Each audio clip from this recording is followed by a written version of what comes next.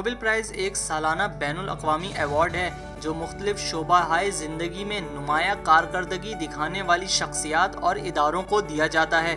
Nobel award دینے کا خیال سویڈن کے ایلفرڈ نوبل نے اٹھارہ سو پچانوے میں پیش کیا، جبکہ پہلا نوبل پرائز انیس سو ایک میں دیا گیا۔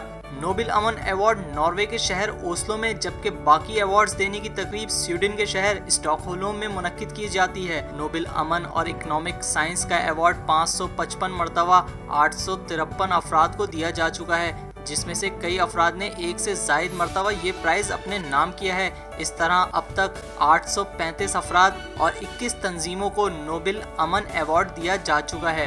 گزشتہ برس نوبل امن ایوارڈ یورپین یونین کے پاس تھا۔ رواں سال دو ہزار تیرہ میں نوبل امن پرائز کے لیے پاکستانی طلبہ ملالہ یوسف زئی بھی امیدوار تھیں، مگر کیمیائی ہتھیاروں کی تخفیف کے لیے سرگرم تنظیم او پی سی ڈیبلو نے ملالہ یوسف زئی کو پیچھے چھوڑ کر ایوارڈ اپنے نام کر لیا۔